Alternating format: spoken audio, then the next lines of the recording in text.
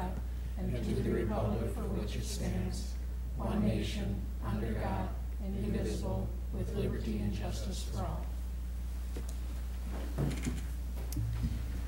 Okay, and Mrs. Kovacs, if you would do the roll, please. Sure. Um, Anita Jagozinski, Here? Kate Mayer excused, Tim Mettinger, Here. Colin Trivet, Here. Lisa Collins, Here. Gary Dunlap is excused, Joe Giddens, Here. and Cheryl Hancock is excused as well. All right, uh, we have three of the, or, I'm sorry, four of the seven board members present, and I will declare a quorum. Uh, Approval of the agenda. I would note that the agenda has been posted, distributed, and sent to the local media. With this in mind, are there any changes to the agenda? Um, Seeing none, I would entertain a motion to approve the agenda as published. So moved. Is there a second? Second. Okay, Tim has moved and Joe has seconded to approve the agenda as published. Any discussion? Hearing none, all those in favor of the motion to approve the agenda as published, please signify by saying aye.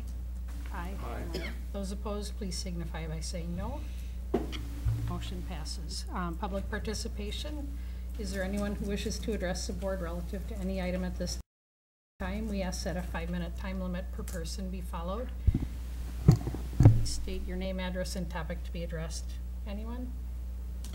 All right, moving along. Uh, reports and discussion, the 2013-14 food service meal prices, Mike Gasper.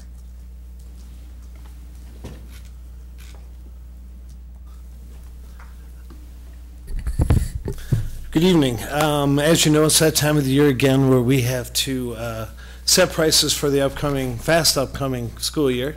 Um, As you recall, last year, th- with the passage of the Healthy, Hunger, Free Kids Act, um, the federal government requires that we charge a certain price, uh, which basically is the difference between a paid meal reimbursement and a free meal reimbursement. Um, This year, that would be $2.59. Uh, They have a formula where they figure out our weighted average price, uh, which right now is $2.31. So we have a gap of uh, 28 cents that we have to make up. Uh, They also, part of the law states that you don't have to raise the price more than 10 cents in any given year. Uh, So essentially, what we are asking for is a 10 cent increase in the lunch price, uh, but no increase to the breakfast price, as that is not uh, regulated by the same law. So, any questions? Anyone? All right, And this will come to the board for approval at the next board meeting.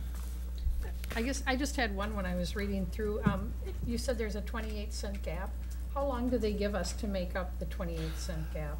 each year, um, the max, or the minimum that you have to raise is 10 cents. And that'll go on For however long? indefinitely, essentially, until you meet that threshold, basically. Uh, At this rate, I would say it's probably going to take us another three years. Okay. Right, Thank you. You bet. Okay, uh, moving on to board member reports and discussion. I'll call upon board members in the order of the roll. And um, first would be Tim Mettinger. The only one thing I have for tonight is that after this evening, there is only one more school board meeting before football practice starts. All right. That's it. Uh, Colin Trivet?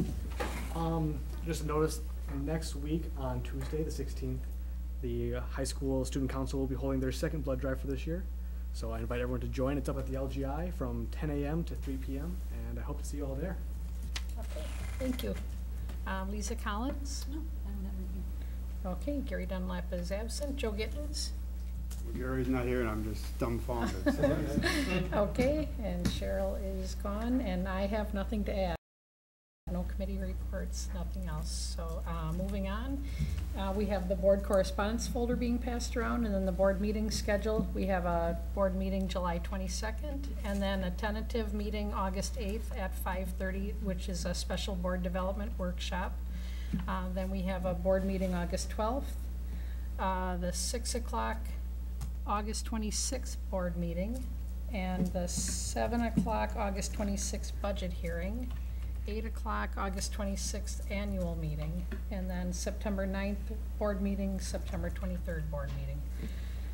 That is our upcoming calendar. Uh, Next, we have the consent agenda items. Um, Looking at the consent agenda items, are there any items that anyone would like to see considered separately? And if not, I would entertain a motion to approve the items on the consent agenda as presented. So moved. Is there a second? Second. Any discussion? All right, hearing none, all those in favor of the motion to approve the consent agenda items as presented, please signify by saying aye. Aye. Aye. Opposed, no. Motion passes. And is there a motion to adjourn? So moved. Have a second? Second. Any discussion? All right, all those in favor of adjourning at seven oh seven, signify by saying aye. Aye. Aye. Opposed, no. We are adjourned at seven oh seven. I would like that to go down on the record, fastest school board meeting ever. Is that, is that a record? Pretty good. We'll have to, you know, I'll talk to Cheryl too in matters like this as we get further in.